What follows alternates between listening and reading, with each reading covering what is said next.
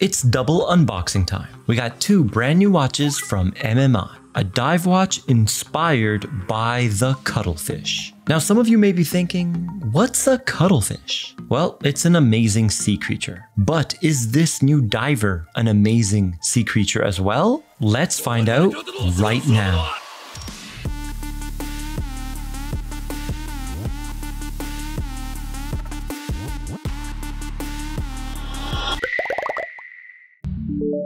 Introducing the all-new MMI Cuttlechron, a dive watch inspired by the stealthy adaptability of the cuttlefish. MMI was founded in 2019 and has a great lineup of watches. But the Cuttlechron takes the brand back to its roots, drawing heavily from their very first watch, the Dumbo. It's basically the Dumbo refined with their signature modern twist. The case is the real standout star here, and it features a unique squircle shape. It's somewhere between a circle and a square, and it creates an interesting presence on the wrist. The top and bottom of the case feature circular brushing while the sides have a raw vertical brushing. These contrasting finishes are divided by a bold, high polished bevel that runs along both the top and bottom of the case. The watch has a clean symmetrical aesthetic from every angle. Now, much like the cuttlefish, which blends into surroundings with its specialized cells, MMI has cleverly integrated their crown into the corner of the case. This stealthy design element makes it slightly trickier than a standard crown, but it still remains user-friendly. The crown is a screw down crown and they've even gone the extra mile by adding a pointed tip to mirror the sharp angles of the case. Unfortunately, unlike the cuttlefish, which is frequently found at 600 meters depth, this watch can only do 150 meters.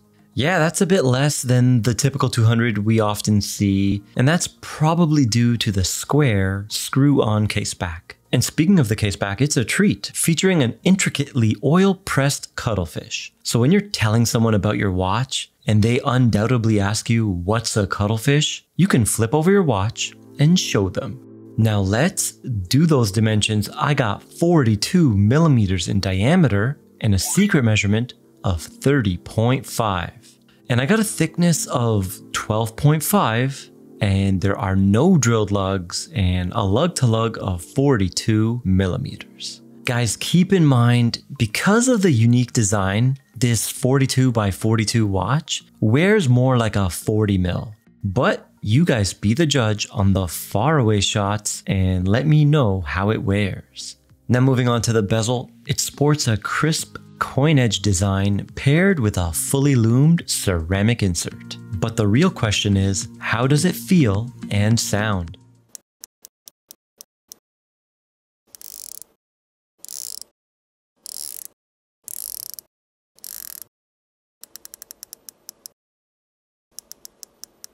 The bezel is a pleasure to use, I really like it. It's not as harsh as you typically find on most micro brands. This one offers a little bit of a softer, more refined click.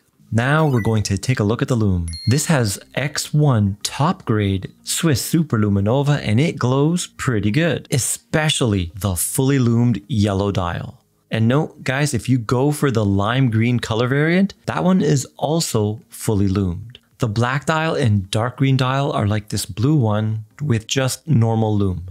Now let's talk about something I'm happy to report. MMI has upgraded their bracelets, finishing, and their clasp. This one is a beautiful flat H-link design with beveled high polished edges.